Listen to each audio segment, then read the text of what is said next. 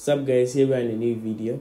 In this video, I'm going to be sharing with you my best productivity apps. You know, we go to our jobs daily and we work.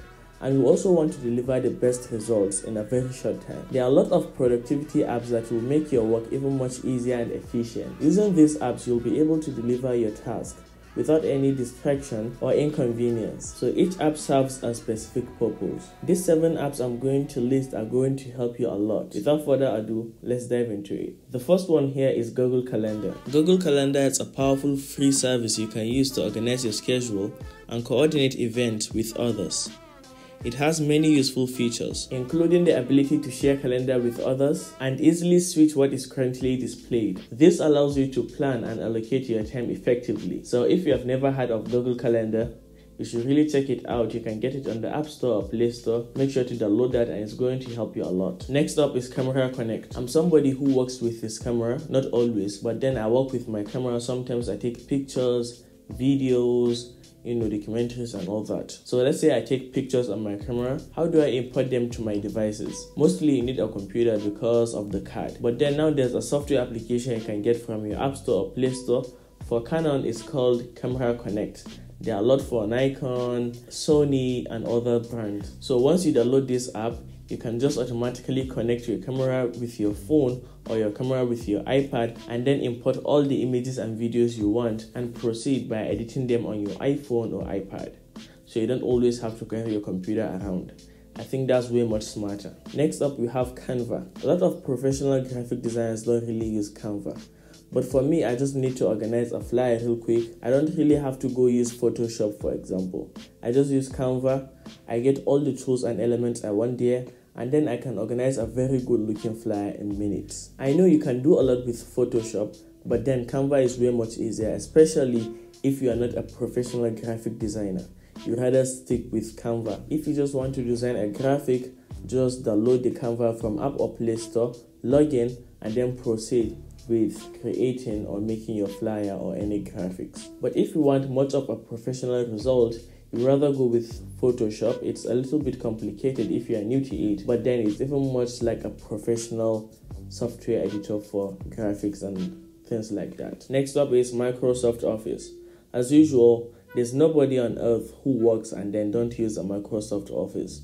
Like you got the Microsoft Word there, Excel, PowerPoint, and the rest, and then how are you not using Microsoft Office? I understand there are a lot of alternatives like that, but then Microsoft Office is the best. So for me, I use Microsoft Word for creating documents, Excel for spreadsheets, PowerPoint for presentations, and all that. I really love using Microsoft Office. The fact that I can get it on my iPad, on my iPhone, and then if I'm not with my computer, I can just automatically open the document, edit it, and everything it's just seamless. It's an amazing experience. So you can get it all across your devices. You can create document on your computer and then later on you can get it on your iPhone. All you need is just to download it on your phone and then log in with the same login details on your computer. The next one we got on the list is called Photoscape X. Photoscape X is a free photo editing software for Mac and Windows 10.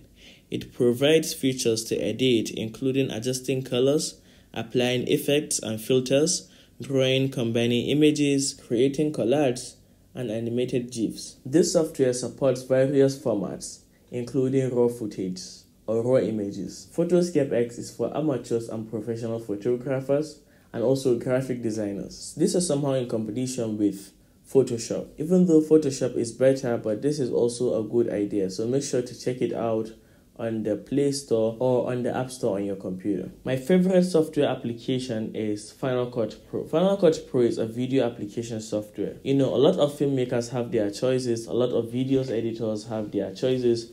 Some use Premiere Pro, some uses DaVinci Resolve, while some uses Final Cut Pro. So so far so good. I have to say this. Final Cut Pro is the best video software editor. This video editor do comes with a lot of features. I mean a lot, a lot, a lot of features. So you might think that Adobe Premiere Pro is better. No, it's not. Final Cut Pro is way much better. I've been using Final Cut Pro for at least four years now. And anytime, any day, I choose this video editor instead of the Premiere Pro. I've tried out the Premiere Pro, but then the experience you get on Final Cut Pro is a very seamless experience. It boosts your creativity. What is just sad about Final Cut Pro is you can only get it if you are using a Mac.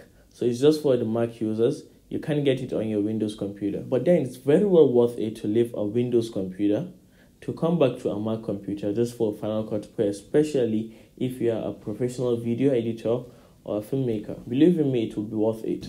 Next up, we have Polarr. Polarr is also an image editing software. Although in 2024, I won't recommend Polarr really because I've been using it for a while. It's really good. It's really amazing. It, it do have a really good user experience, but then I would recommend the Lightroom. So just go get the Lightroom. You can get it on your iPad, iPhone, maybe your computer. You can use that to edit your pictures. It's really, really good. But then if you want to get the Polarr as an alternative, you can go get Polarr. It do comes with a lot of features you can get on Lightroom. So advisably, you can get both and you can mess around with the settings to see which one you want. Do you want the Polarr or do you want the Lightroom? I'm sure a lot of people are going with the Lightroom. But then just go get both and then do your experiments and then figure out which one is best for you. The last off here is called Notion. Notion helps people be more productive on documents.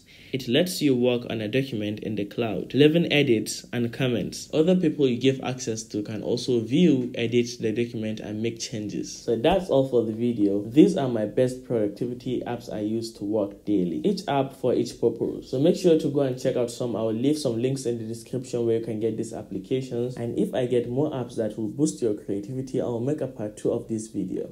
Make sure to subscribe so that you won't miss that. Until then, I'll meet you guys in the next one. Peace.